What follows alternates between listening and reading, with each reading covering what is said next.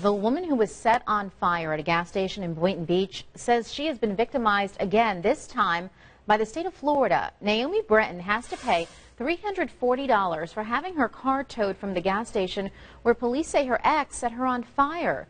Zucala's Towing told her, according to Florida law, she is financially responsible. I mean, I think it's a disgrace because it's not like I had a choice of where my car went to. I was on fire. Well, Breton is also responsible for paying her accused attacker's $363 towing bill plus the $25 a day late fee until she can scrape up the money to pay for it.